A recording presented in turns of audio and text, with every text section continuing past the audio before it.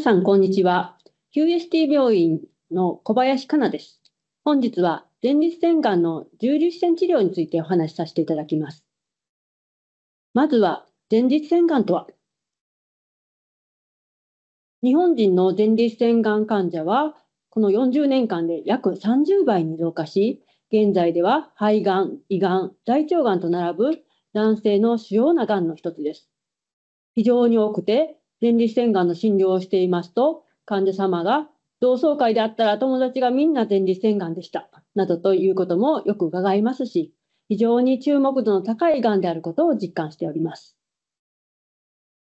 前立腺の位置は、えー、体のこういう断面で言いますと、陰茎の奥、えー、膀胱の下、直腸の前にあります。内部に尿道が通っております。前立腺の働きは精子を保護する前立腺液を分泌することで普段はあまり目立たない臓器です。そんな前立腺にできる前立腺がんですが、がん自体の症状はほとんどないことが多いんです。どうやって見つかるかというと、最近では血液検査の PSA 検診で見つかることが多く、または前立腺肥大による頻尿や血尿の症状などでえー、そういうのが気になる方が泌尿器科に受診したときにたまたま見つかるというのがほとんどです。前立腺がんを疑ったら、まずは血液検査で PSA を測ってみます。そして、えー、画像で見えるがんがあるか調べます。前立腺の内部がよくわかるのはエコー検査や MRI です。次に画像検査で病変があってもなくても、がんであるかどうか前立腺生検が必要になります。エコーで前立腺を観察しながら針で組織を切り取ります。局所麻酔や腰椎麻酔、場合によっては全身麻酔などの麻酔のもと10箇所くらい組織を取ってきます。次にリスク分類。病気の状態、あるいは再発を予測するリスク因子が知られております。前立腺がんでは進行度、PSA、グリソンスコアの3つがリスク因子として重要視されております。まずは進行度。前立腺がんの場合、T1 というと画像に見えないようながんを表します。T2 になると前立腺の中にがんが認められ、右か左の片方のみに認められる場合、小さければ T2A、大きければ T2B、左右にまたがる場合は T2C となります。前立腺は皮膜という膜に覆われていますが、その外まで広がるがんは T3。えー、その前立腺の背中側にある性能という袋がありますが、そこまで広がっていると T3B となります。前立腺がんでは、がんと診断がつくと、す、えー、で、にリンパ節転移や骨転移を生じているものもあり、その場合は手術だけでなく、放射線治療も適用にならず、ホルモン治療など全身の治療を優先するべきだと考えられています。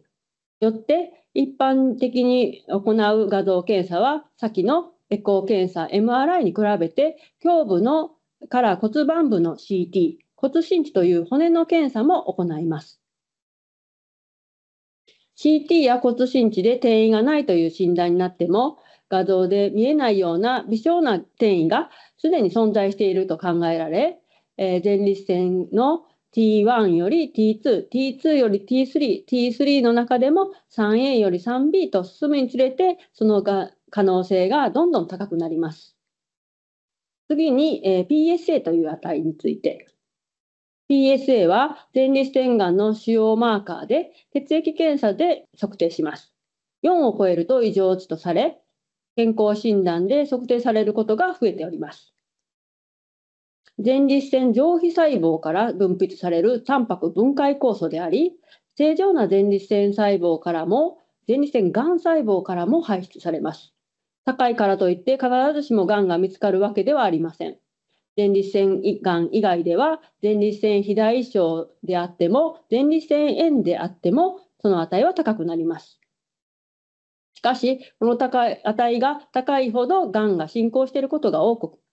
画像検査で見つからないような小さな転移を潜んでが潜んでいる可能性が高くなります。10未満が低い、20以上が高い、10から20が中間と評価します。最後にグリクソンスコア。グリソンスコアとは、前立腺生検の組織診断でよくがんの顔つきと表現されています。正常細胞に近くて進行の遅いものから正常細胞からかけ離れた性質のものその間にを5段階に分けます。前立腺がんはしばしば同じ前立腺の中に悪性度の異なるがんが発生します。そこで生検で採取されたがん細胞の組織構造を調べ最も面積の大きい組織と2番目に大きい組織のグレードを足し算して悪性度の判定に用います。これがグリソンスコアと呼ばれるものです。グレード3が最も多くて、次に4が多い。そういうものであれば、スコアは3たす4の7となります。1たす1の2から5たす5の10まで9段階あります。6は、6以下はおとなしいがんであることが多くて、8以上になると、えー、かなり悪性度が高く、増殖スピードが速く転移する可能性が高くなります。次に様々な治療法について。前立腺がんには様々な治療法があり、どの治療法もここ10年の間に著しい進歩を遂げています。また、どの治療法でも非常に治療成績が良いので、ご自身の体調だけでなく、生活スタイルまで様々な条件を考慮して選んでいただきたいと、どの治療の担当医も考えていると思います。前立腺がんの治療は大きく分けて、手術、放射線治療、ホルモン治療があります。まず、泌尿器科では手術療法の説明があると思います。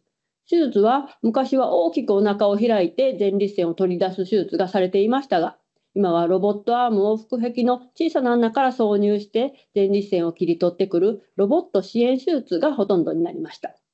手術時間はまちまちでしょうが随分短縮して傷が小さい分だけ入院期間も短くなりました。それでも麻酔が必要であったりするので全身状態の良い患者様に限られ超高齢者の方には向かない治療です。前立腺の周りの尿漏れを、えー、防ぐ筋肉や勃起をに関係する神経を傷つけている可能性があり、えー、尿漏れや勃起障害については術者の先生の意見を聞いて、えー、選択する必要があります。次に放射線治療。放射線治療には体の外から前立腺にめがけて X 線や粒子線を照射する外部放線治療という方法と小宣言治療といって放射性同位元素を前立腺の中に埋め込んでえー、中から放線を当てる方法があります。放射線はなぜ切らずに治るのでしょう？放射線治療では前立腺がん細胞だけでなく正常な細胞も一部同じように放射線が当たります。しかし、がん細胞では正常細胞より放射線の障害を受けやすく死にやすい。その差を利用してがんだけを殺していきます。がん細胞と正常細胞の違いは何かといえば、がんは増殖する増殖スピードが正常細胞より速いということです。増殖には DNA が重要です。放射線は細胞の DNA を傷つけます。正常細胞では DNA が傷つくのですが、次の放射線が当たるまでに自分で修復することが多いのに対し、がん細胞では DNA に傷がつくと修復することができず、分裂ができなくなって自滅していったり、増殖を急ぐあまりに傷ついたまま分裂を繰り返すうちに死んでいく分裂死という死に方があります。この差が正常な細胞を生かして癌を殺す、切らずに治るの原因です。さらに放射線の種類の違いについて、X 線も粒子線も放射線ですがどう違うのでしょうか？X 線は突き抜ける性質があり、周りに薄い放射線が広がってしまいます。そのため、X 線の IMRT という手法では、前立腺に集中するために薄い放射線をいろんなところから打っています。それによって、えー、周りの正常な組織にも、えー、少し正常な組織があまり傷まないと考えられる程度の量ですが、どうしても当たってしまいます。粒子線治療では前立腺のところで放射線を止めるように調節しているために、えー、狙ったところ以外の放射線の量は非常に少なくなります。粒子線治療にも陽子を使う陽子線治療と QST 病院のように炭素を使う重粒子線治療があります。陽子でも、えー、比較的前立腺に集中した当て方ができるんですけれど、重粒子の方がさらに周りへの広がりが少ない放射線となります。重粒子の方が重い粒子がぶつかり DNA の二重差を両方とも切断して DNA の修復が起こりにくくがんが死滅しやすい可能性があります。最後にホルモン治療。前立腺がんは精巣及び、えー、副腎から分泌される男性ホルモンテストステロンの影響で増殖します。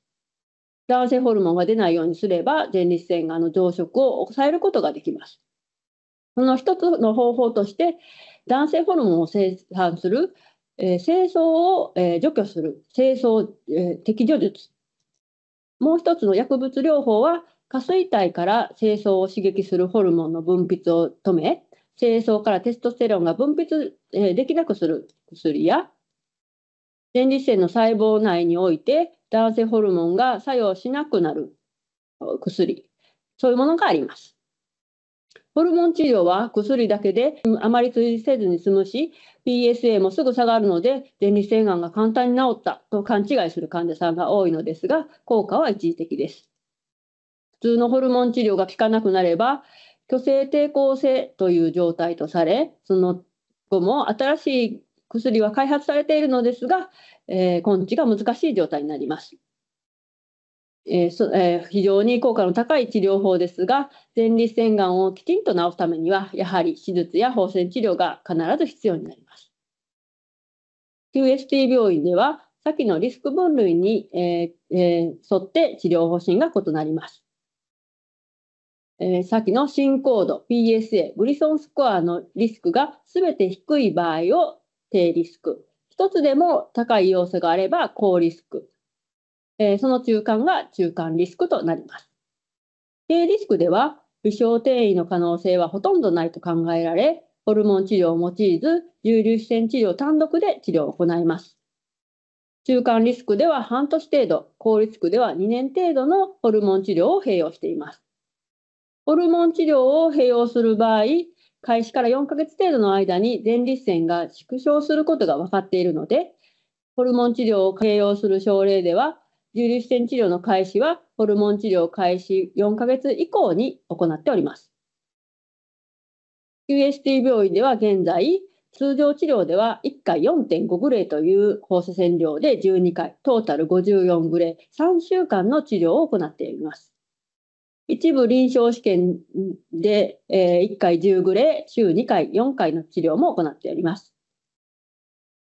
重篤な副作用はほとんどありませんが、軽微なものはえー、ほとんどの方に起こります。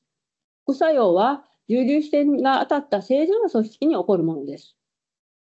膀胱の一部と尿道は前立腺に接していたり中を通っているために炎症が生じ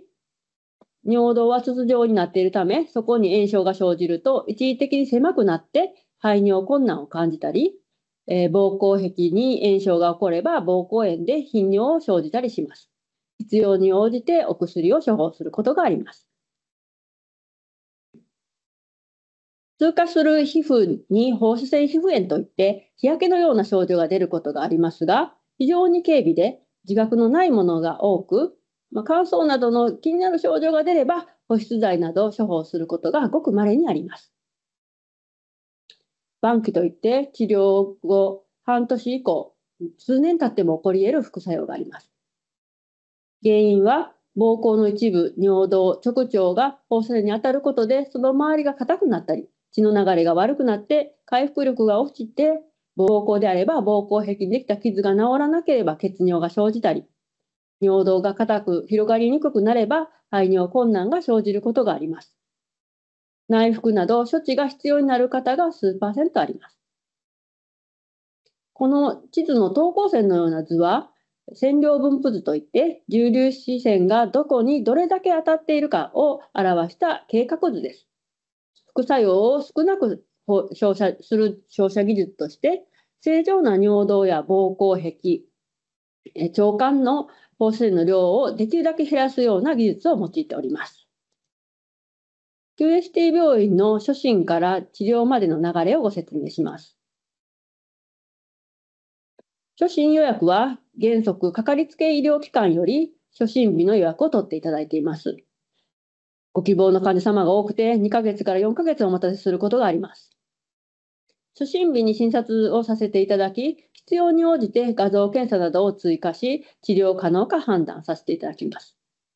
初診日に前立腺生検の組織標本をお預かりして、当院の病理診断医によって再度検査をさせていただいております。その結果が出るのに2、3週間要し、その間に院内、院外の前立腺がん担当グループによって、えー、細かい条件で適用を協議させていただいています。治療適用の結果説明日には、治療準備の日程を、えー、ご説明します。ピンマーカーは材質、挿入方法が異なると、重粒子線治療の計画に支障をきたすため、連携病院にご紹介して筋マーカーの留置を受けていただいております。その後、患者様の体に合わせた型である固定具を作成し、この固定具を装着した状態で撮影した CT をもとに最適な重粒子線ビームを計算します。MRI を追加することもあります。2週間ぐらいかけて最適ビームの計算と動作確認をし、ようやく重粒子線治療開始です。週4回、全12回、約3週間の治療になります。前立腺がんは他のどんな治療後であっても5年、10年、長期的な経過観察が必要とされており、重粒子線治療も同様です。治療後3ヶ月、半年、1年など定期的な診察が必要になります。治療中の注意です。治療中、治療後、直後に注意することは、すべて副作用を少なくするための注意事項です。治療中から直後にはアルコールは炎症を増悪させてしまうために排尿障害や頻尿のが悪くなる可能性があるため禁酒が必要です。また、放射線の皮膚炎はごく軽微なものですが、温泉などは成分によって皮膚炎を悪化させるものがある可能性があり、治療後1ヶ月程度は控えていただいております。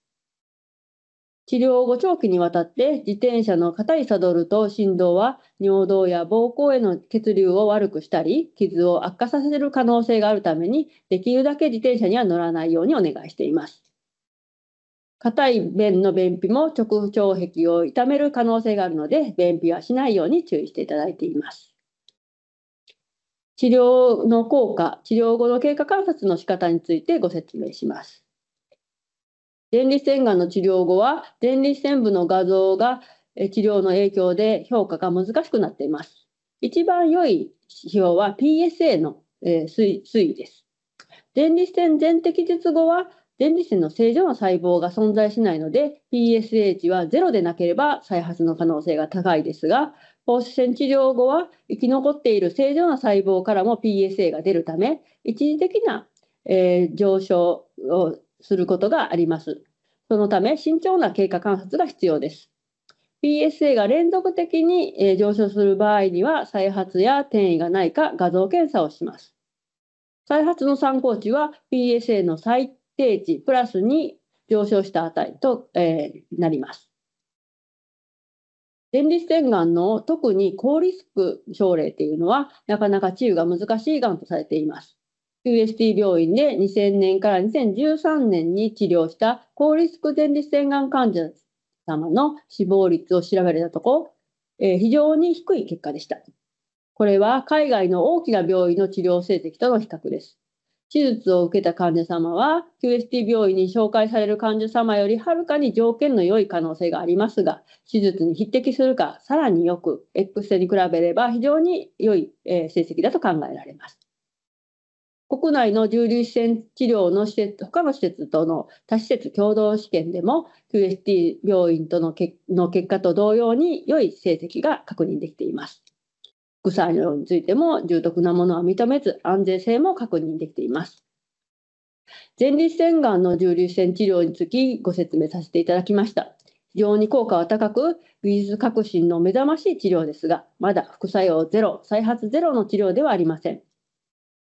前立腺がんは5年、10年と長期的に経過を観察しなければふとした時に思わぬ副作用が出る可能性安心してきた時に再発する可能性があるご病気ですので長く経過を見させていただくことが必要であることも覚えていただければ幸いです。ご視聴ありがとうございました。